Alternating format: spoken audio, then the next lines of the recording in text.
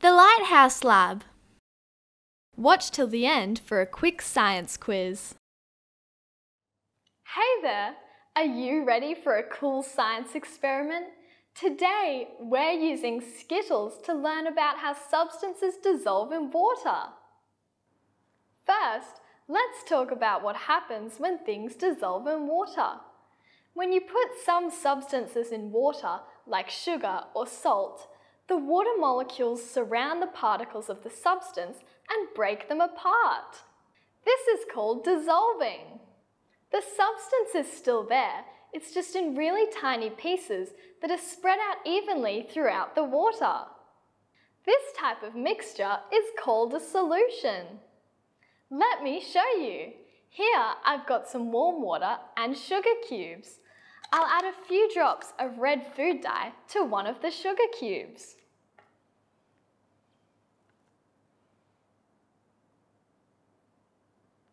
Now, I'll drop it in the water and give it a stir.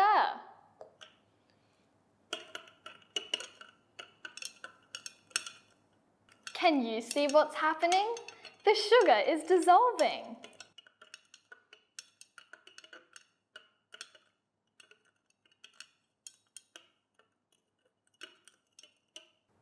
The sugar is still in there, it's just dissolved and spread out evenly in the water. We've created a water and sugar solution. Now, let's get started with our Skittle experiment. I have a plate here with Skittles arranged in a circle and a beaker full of water. I'm going to pour the water onto the plate and watch what happens. The water touches the Skittles, you can see the colours start to dissolve and spread out. The water molecules are breaking apart the sugar and food colouring in the Skittles, which makes the colours mix together in the water. Look how pretty the colours are. So there you have it. That's how Skittles dissolve in water. I hope you had fun watching this experiment Maybe you can try it at home and see what happens when you use different types of candy. Science is so cool.